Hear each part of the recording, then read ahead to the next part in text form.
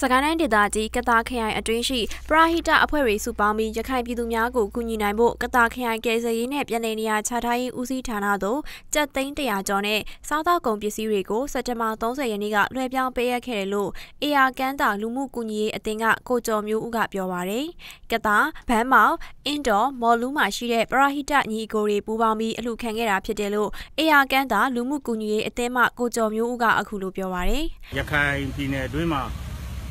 ဒုက္ခကြောက်ပြီးတော့မှအကူအညီတကယ်လိုအပ်နေတဲ့လူတွေပေါ့နော်အကူအညီဖို့ရဆိုပြီးကျွန်တော်တို့ခေါင်းစဉ်တက်ပြီးအလူခံလိုက်တာပေါ့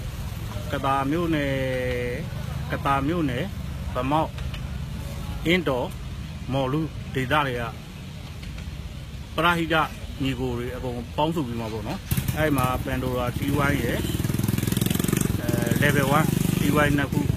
ပေါင်းပြီးတော့မှကျွန်တော်တို့လူခံလိုက်တာပေါ့အဲခေါင်းစဉ်တက်ပြီးလူခံလိုက်တဲ့ဟာကို ကျွန်တော်တို့အစပိုင်းကတော့ဟိုလိုပေါ့อืมရခိုင်အရောက်သွားပြီးတော့မှကျွန်တော်တို့လူဒန်းမှုဟာဆုံးဖြတ်ခဲ့ကြတယ်ဒါပေမဲ့ရာသီဥတုအခြေအနေကအကြောင်းမျိုးမျိုးကြောင့်မလို့ပေါ့နော်ကျွန်တော်မသွားပြတော့ဘဲနဲ့ကတာမျိုးမှာကတာမျိုးကဟိုတက်ဆိုင်ရာဌာနကိုပေါ့ကျွန်တော်တို့လူမှုအဲလူမှုကယ်ဆယ်ရေးနဲ့နေရာချထားရေးနေရာချထားရေးဝန်ကြီးဌာနပေါ့နော်အဲဟိုကျွန်တော်တို့ ဟိုတက်ဆိုင်ရာလူကြီးရှေ့မှာပြီးတော့ဟိုကျွန်တော်တို့အဖွဲ့နဲ့ပူးပေါင်းတဲ့ပရိုက်တာအဖွဲ့အစုံပေါ့တက်ပြီးတော့မှကျွန်တော်တို့ရတဲ့ငွေကြေးပမာဏနဲ့ပြည်စည်းအကုန်လုံးကိုကျွန်တော်တို့လူကန်းလိုက်တာဖြစ်ပါတယ်